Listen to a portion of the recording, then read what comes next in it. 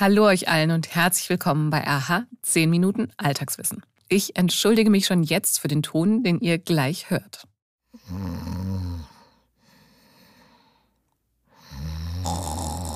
Je nachdem, neben wem ihr schlaft, kennt ihr dieses Geräusch gut. Oder eben der oder diejenige, die neben euch schläft, kennt es. Egal wie rum, es ist ein Geräusch, das, glaube ich, jeden nervt. Manchmal hilft es, den oder diejenige neben sich einfach anzustupsen damit er oder sie sich anders hinlegt. Warum das hilft, das hören wir gleich. Wir hören aber auch, was nicht hilft und ab wann Schnarchen gefährlich werden kann. In unserer Rubrik finde ich heute heraus, ob es stimmt, dass Muskeln mehr wiegen als Fett. Mein Name ist Antonia Beckermann und ich freue mich sehr, dass ihr da seid. Aha. 10 Minuten Alltagswissen. Ein Podcast von Welt. Ich mute euch jetzt den Schnarchton von eben nicht nochmal zu. Ich fürchte, jeder von uns hat ihn eh im Ohr. Zumindest das Schnarchen, das uns selbst auf die ein oder andere Weise betrifft.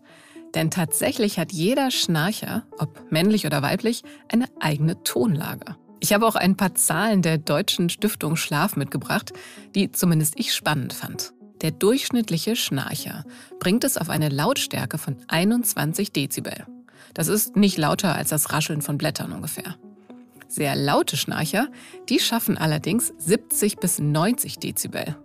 Und das ist ungefähr die Lautstärke eines Rasenmähers. Ab 85 Dezibel, so steht es auf der Homepage der Stiftung, wird es gesundheitsschädlich. Also für die Zuhörer. Ab wann es für die Schnarcher selbst gesundheitsschädlich wird, das erklärt uns gleich Professor Boris Stuck. Er ist Direktor der Klinik für Hals-Nasen-Ohrenheilkunde, Kopf- und Halschirurgie am Universitätsklinikum Marburg. Ihn frage ich auch, was wir gegen das Schnarchen unternehmen können und warum Männer öfter schnarchen als Frauen. Hallo, Herr Professor Stuck. Guten Morgen. Was sind die häufigsten Gründe für Schnarchen? Also die häufigste Ursache ist das Übergewicht. Andere Ursachen sind zum Beispiel Besonderheiten in der Anatomie des Atemweges. Das Schnarchen entsteht meist dadurch, dass Weichteile, häufig das Zäpfchen oder der weiche Gaumen insgesamt, im Schlaf zu vibrieren beginnen. Weil die Muskelspannung im Schlaf nachlässt und dann wird das Gewebe weicher und, und beweglicher und äh, kollabiert eher oder vibriert stärker. Und dann tritt eben eine solche Vibration im Bereich des Weichgaumens und des Zäpfchens auf. Und so dass es Situationen gibt oder Besonderheiten, anatomische Besonderheiten, die das begünstigen. Also wenn jemand ein sehr langes Zäpfchen hat, einen sehr schlaffen oder relativ weichen Gaumen, dann neigt er eher zur Vibration, eher zur Schnarchentstehung, als jetzt jemand, bei dem das Zäpfchen sehr kurz ist oder der vielleicht schon eine Mandelentfernung hinter sich hat als Kind. Da sind die Gaumen häufig etwas steifer und, und weniger vibrationsanfällig. Also solche anatomischen Faktoren spielen eine Rolle. Alles, was den Atemweg eng macht, erhöht letztendlich die Anstrengung, den Atemwegsfluss, die Geschwindigkeit der Luft, die durch den Atemweg fließt, sodass auch Engstellen im Bereich der Nase, also eine Nasenatmungsbehinderung, sei es durch eine verkrümmte Nasenscheidewand, durch einen Heuschnupfen, durch Polypen etc., das Schnarchen häufig mit, äh, mit verursacht oder, oder verschlechtert. Das sind Faktoren. Ähm, auch wenn aufgrund von Veränderungen des Gesichts, des Skelettes, also ein sehr kleiner oder rückstehender Unterkiefer, der Atemweg eingeengt ist. All das sind anatomische Faktoren, die den Atemweg einengen oder eben ja, eher eine Vibration begünstigen. Das sind ja individuelle Faktoren, an denen man eigentlich nichts äh, groß machen kann, jetzt zumindest selbst nicht. Ähm, dann sind ist das Schnarchen bei vielen Betroffenen körperlageabhängig. Das ist ein Phänomen, was die meisten auch kennen werden, dass das Schnarchen in Rückenlage häufig deutlicher ist oder lauter ist als in, in Seitlage. Ähm, viele Betroffene schnarchen tatsächlich nur in Rückenlage und gar nicht in Seitlage, sodass tatsächlich Rückenlage ein, eine Körperlage ist, die das Schnarchen eher begünstigt. Und äh, viele kennen das ja auch als, sagen wir mal, als erste Hilfemaßnahme, wenn der Bettpartner schnarcht, dass man ihn dazu bringt, die Körperlage zu wechseln. Das, äh, das hilft äh, häufig auch ein bisschen. Also es ist oft eine Gruppe, eine Reihe von verschiedenen Faktoren, die nicht alle bei jedem Betroffenen gleich ausgeprägt sind, äh, aber ins, dann je nach Konstellation das Schnarchen verschlimmern äh, oder eben auslösen können. Sie haben jetzt ja Übergewicht schon genannt. Was ist denn zum Beispiel mit Ernährung oder Alkohol? Da heißt es ja häufig auch, wenn man abends ein bisschen zu viel Wein trinkt, schnarcht man mehr. Stimmt das? Ja, das kann ich aus eigener Erfahrung bestätigen. Ähm, ja, der Alkohol führt tatsächlich zu einer Muskelerschlaffung. Ähm, und wie wir eben ja schon gehört haben, die, die Muskelerschlaffung, die im Schlaf eintritt, die führt ja zu dieser nachlassenden Muskelspannung und dieser erhöhten Vibrationsbereitschaft des Gewebes. Und alles, was tatsächlich diese Muskelerschlaffung verstärkt, also auch der Alkohol, kann äh, das Schnarchen verschlimmern. Also durch Alkohol schläft man anders und hat vor allen Dingen etwas mehr Muskelentspannung, sage ich mal. Und das bedingt bei vielen Patienten eine Zunahme des Schnarchens. Ernährung kann dann problematisch werden über den Weg des Übergewichts. Also wer sich dahingehend ungünstig ernährt, dass er Übergewicht entwickelt, ähm, der lagert Fett ein im Gewebe, im Weichgewebe, nicht nur am Bauch oder an der Hüfte, sondern eben auch im Bereich der Weichteile des Rachens. Ähm, das sieht man manchmal, dass Betroffene einen relativ großen Halsumfang haben oder so kräftige Hälse, bei Männern häufiger. Ähm, das sind Faktoren, die über, über diesen Weg kann tatsächlich die Ernährung, das Schnarchen verschlechtern. Dass es jetzt eine bestimmte Diät gäbe äh, Nahrungsmittel, unter denen man mehr oder weniger schnarchen würde, das ist nicht bekannt. Also nur über den Weg des vermeintlichen Übergewichtes. Ähm, aber es gibt keine, keine Nahrungsmittel, die Schnarchen auslösen oder entsprechend auch keine Schnarchdiät. Alles, was das Übergewicht reduziert, verbessert das Schnarchen. Jetzt haben Sie schon Diät gesagt. Vorhin hatten wir auch schon das Thema Seitlage. Was gibt es denn vielleicht noch, was wir selber gegen unser Schnarchen unternehmen können? Ja, tatsächlich, wie schon gesagt, man kann versuchen, die Körperlage zu modifizieren. Man muss aber sagen, da sind die Möglichkeiten eingeschränkt. Also man kann sich zwar vornehmen, dass man vermehrt in Seitlage liegt, man kann sich in Seitlage hinlegen, aber man hat selbst wenig Einfluss auf die Körperposition während des Schlafes, weil sich jeder Mensch im Schlaf immer wieder bewegt und, und dreht. Das ist auch sinnvoll dass nicht die gleiche Körperpartie die ganze Nacht mechanisch belastet wird.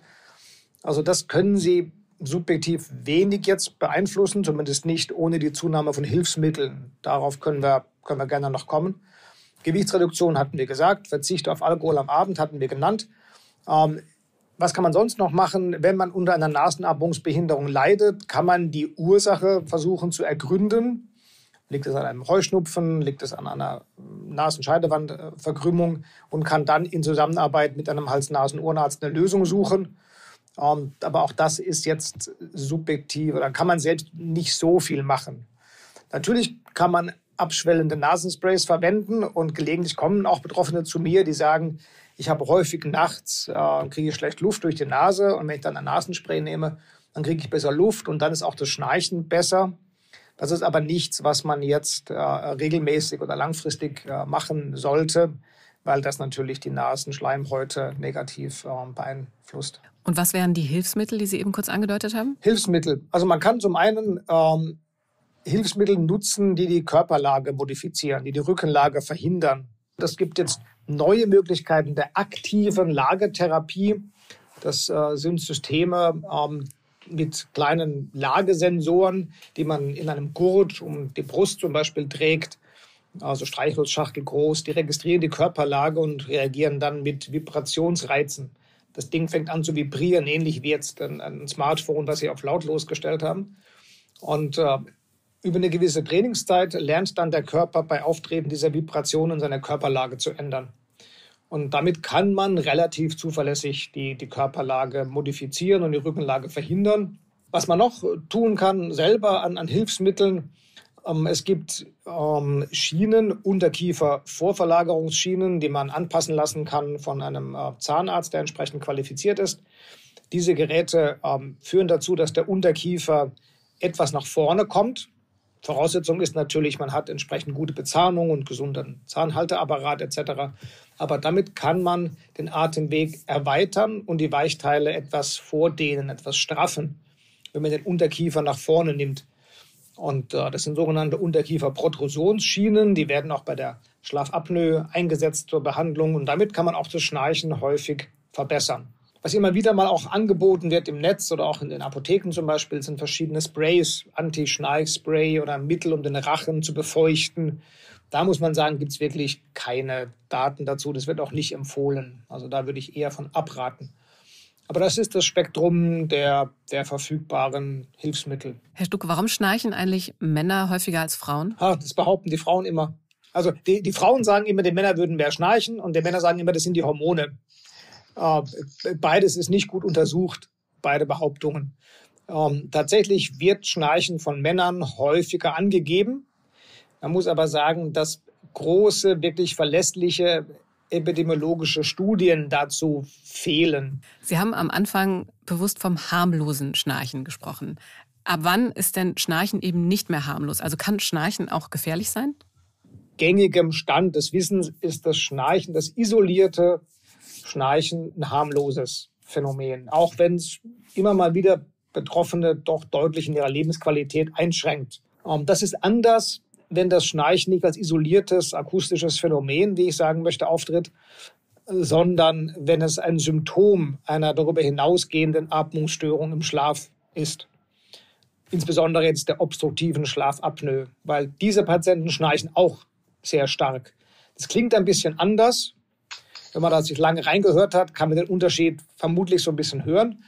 Ähm, aber auch das ist Schnarchen, allerdings als Zeichen einer tiefer gehenden Atmungsstörung dieses Phänomen, die obstruktive Schlafapnoe, die hat tatsächlich, äh, ähm, die ist tatsächlich gesundheitsgefährdend dahingehend, dass sie einen Risikofaktor bedeutet für Herz-Kreislauf-Erkrankungen. Würden wir das hören? Also es ist schwieriger, als man so gemeinhin annehmen möchte. Was man aber schon sagen kann, ist, wenn zu diesem Schnarchen Atempausen dazukommen, also ein Schnarchen, was nicht regelmäßig ist, sondern sich in der Intensität langsam aufbaut, dann von einer Atempause gefolgt wird. Und das kann man auch als Bettpartner gut erkennen, indem nämlich der, der Betroffene weiter versucht zu atmen, aber kein Atemfluss hinbekommt. Das ist so ein richtiges Kämpfen um, um die Atmung. Und dann setzt nach einer kurzen Schreck- oder Wegreaktion die Atmung wieder ein mit einem lauten äh, Schnarchen, einem Öffnungsschnarchen, wenn man so möchte. Wenn man sowas hört, äh, sollte man tatsächlich ähm, das Ganze abklären lassen, weil das ist schon verdächtig jetzt für eine für Schnarchen im Rahmen einer Schlafapnoe. Herr Stuck, kann man sich operieren lassen, wenn man schnarcht? Kommt drauf an. Also tatsächlich gibt es Situationen, ähm, bei denen operative Eingriffe möglich und auch empfehlenswert sind. Also zum einen haben wir schon gesagt, dass eine, eine Nasenatmungsbehinderung, dass die das Schnarchen häufig mit verursacht oder verschlimmert. Wenn man also die Nasenatmungsbehinderung verbessert, das kann man zum Beispiel bei einer Allergie durch medikamentöse Behandlungen machen oder auch jetzt, wenn man eine verbogene Nasenscheidewand hat oder Polypen in der Nase hat, kann man das auch operativ korrigieren lassen. Diese Patienten geben regelhaft an, dass sie nach dieser Verbesserung der Nasenatmung weniger schnarchen. Dann gibt es Patienten, wir haben schon gesagt, die am Weichgaumen eine Auffälligkeit haben, die also großes Zäpfchen haben, einen sehr schlaffen Weichgaumen. Da gibt es äh, minimalinvasive Eingriffe, die man auch in lokaler Betäubung durchführen kann, die zu einer Straffung des Gaumensegels, des Weichgaumens führen. Gibt es zum Beispiel die Radiofrequenzchirurgie ähm, oder, muss man auch erwähnen, Implantate am Weichgaumen. Das sind Verfahren, die durchaus mit klinischen Studien abgesichert sind und die auch nach den Leitlinien der Fachgesellschaft ähm, empfohlen werden. Aber das muss man im Einzelfall prüfen, ob das für den Betroffenen in Frage kommt. Und generell muss man sagen, egal ob Sie jetzt so eine, ein technisches Hilfsmittel nehmen oder sich operieren lassen, ähm, das Ziel ist, das Schnarchen zu verbessern, also die Intensität zu reduzieren oder ähnliches. Ähm, jetzt das Schnarchen vollkommen zu beseitigen, ist eher unrealistisch. Professor Stuck, vielen Dank. Sehr gern. Stimmt das wirklich? Mythos oder Wahrheit? Wenn wir uns auf die Waage stellen und geschockt sehen, wie der Zeiger deutlich weiter nach oben geht als noch vor wenigen Wochen, und das, obwohl wir doch so viel Sport gemacht haben, dann beruhigen wir uns vielleicht mit diesem Satz. Muskeln wiegen halt mehr als Fett. Aber stimmt das wirklich? Streng genommen nein. Ein Kilo wiegt ein Kilo. Das ist ganz egal, ob es sich um Federn, Blei, Muskeln oder eben Fett handelt. Was aber stimmt ist, dass Muskeln eine höhere Volumendichte haben als Fett. Ein Liter Fett wiegt in etwa 0,92 Kilogramm.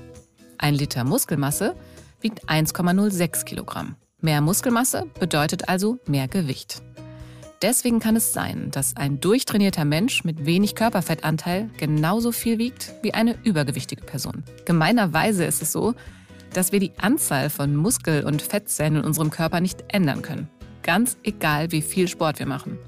Eine Fettzelle bleibt eine Fettzelle und eine Muskelzelle eine Muskelzelle. Das ist einfach Veranlagungssache.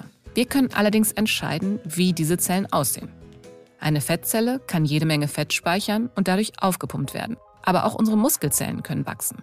Zum Beispiel durch regelmäßigen Sport oder eiweißreiche Ernährung. Unsere 10 Minuten sind damit längst wieder vorbei. Aber die nächsten 10 Minuten Alltagswissen, die kommen bestimmt. Und ich hoffe, ihr seid dann auch wieder dabei. Wenn euch gefällt, was ihr hört, dann läutet die Glocke bei Spotify, abonniert uns auf einer der anderen Podcast-Plattformen und empfehlt uns natürlich auch sehr gerne weiter. Ich bin Antonia Beckermann und hoffe, wir hören uns hier bald wieder. Bis dahin wünsche ich euch allen, wo und wann auch immer ihr das hier gerade hört, einen schönen und vor allem stressfreien Tag.